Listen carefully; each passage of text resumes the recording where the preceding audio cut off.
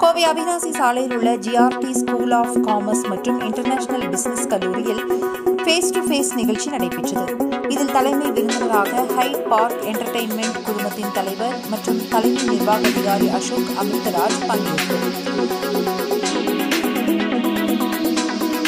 கோவை அவினாசி சாலையில் GRT school of commerce மற்றும் international business கல்லூரியில் ஃபேஸ் டு ஃபேஸ் நிகழ்ச்சி நடைபெற்றது. இதில் தலைமை விருந்தினராக ஹைட் பார்க் என்டர்டெயின்மெண்ட் குழுமத்தின் தலைவர் மற்றும் தலைமை நிர்வாக அதிகாரி அசோக் அமிர்தராஜ் பங்கேற்று பேசினார்.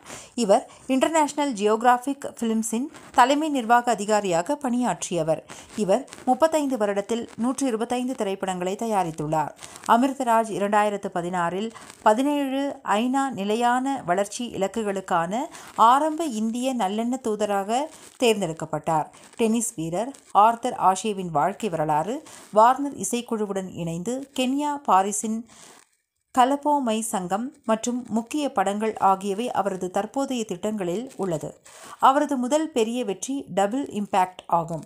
ஆயிரத்து தொள்ளாயிரத்து தொன்னூற்றி இரண்டில் மோஷன் பிக்சர்ஸ் அகாடமியில் உறுப்பினரான முதல் இந்திய தயாரிப்பாளர் இவர்.